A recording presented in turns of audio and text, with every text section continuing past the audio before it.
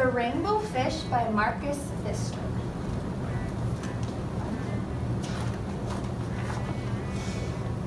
A long way out in the deep blue sea, there lived a fish.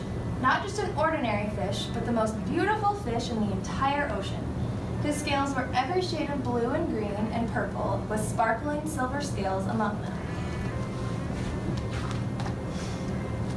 The other fish were amazed at his beauty. They called him Rainbow Fish.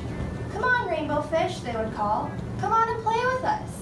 But the rainbow fish would just glide past, proud and silent, letting his scales shimmer. One day, a little blue fish followed after him. Rainbow fish, he called, wait for me. Please give me one of your shiny scales. They are so wonderful, and you have so many. You want me to give you one of my special scales? Who do you think you are? cried the rainbow fish. Get away from me. Shocked, the little blue fish swam away. He was so upset he told all of his friends what had happened. From then on, no one would have anything to do with the rainbow fish. They turned away when he swam by. What good were the dazzling, shimmering scales with no one to admire them? Now he was one of the loneliest fish in the entire ocean. One day, he poured out his troubles to the starfish. I really am beautiful. Why doesn't anyone like me? I can't answer that for you, said the starfish, but if you go beyond the coral reef to a deep cave, you will find the wise octopus. Maybe she can help you. The rainbow fish found the cave. It was very dark inside and he couldn't see anything. Then suddenly, two eyes caught him in the glare and the octopus emerged from the darkness. I have been waiting for you, said the octopus with a deep voice. The waves have told me your story. This is my advice.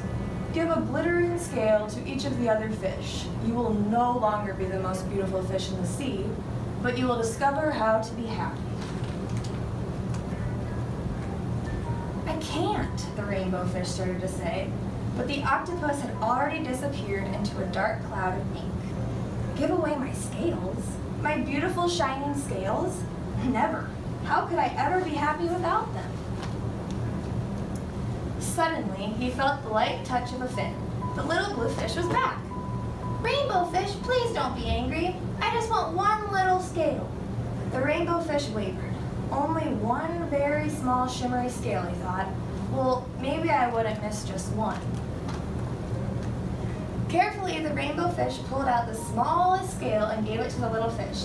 Thank you, thank you very much, the little blue fish bubbled playfully as he tucked the shiny scale in among his blue ones. A rather peculiar feeling came over the rainbow fish. For a long time, he had watched the little blue fish swim back and forth with his new scale glittering in the water. The little blue fish whizzed through the ocean with his scale flashing, so it didn't take long before the rainbow fish was surrounded by all of the other fish.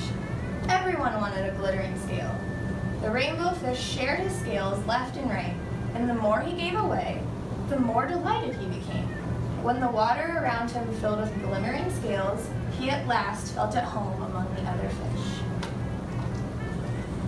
Finally, the rainbow fish had only one shining scale left. His most prized possessions had been given away, yet he was very happy. Come on, rainbow fish, they called. Come play with us. Here I come, said the rainbow fish, and happy as a splash, he swam off to join his new friends.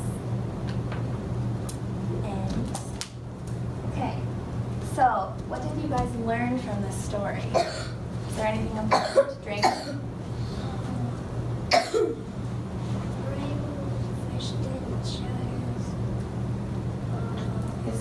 Scales, yeah, the rainbow fish didn't share his scales, so is that bad that he didn't? Yeah, so was it good that he ended up sharing it with all his friends? Yeah. Brendan? It took place in the ocean. It took place in the ocean? Yep, that's good. Good job. Anyone else? They were jealous because um, because he was prettier than all the fish, mm -hmm. so he learned a lesson to share with others. Yeah, that's really good. Good job. Okay, so now we get to make our own little rainbow fish like this on a to swim through the ocean. and I have shiny scales to share one with every one of you. And you get to design and color your own rainbow fish.